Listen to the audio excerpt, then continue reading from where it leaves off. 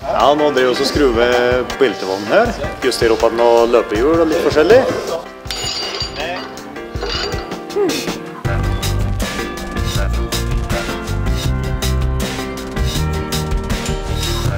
Nå har vi hatt eh, kamuflasjeleksjon og klargjort eh, kjøretøyene våre.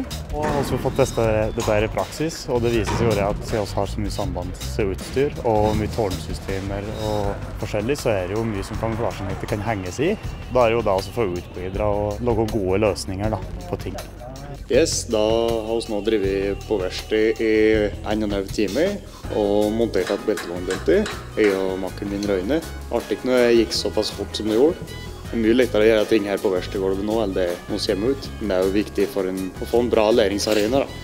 Ja, nå eh, driver vi og prøve å kjøre beltevognen, som vi driver og skrudd på de to siste ukene. Så driver vi justert opp igjen noe belte og hatt ut motorer og litt forskjellig, så har vært mye læring til dette her.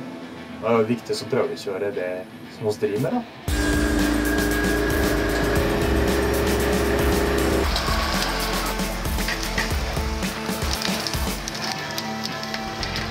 Det som motiverte meg til å søke befalsskolen, det var det å kunne kombinere førstegangstjenesten med en teknisk utdannelse. Det er eh, noe som var kjempeartig, og det er virkelig en stor utfordring. da.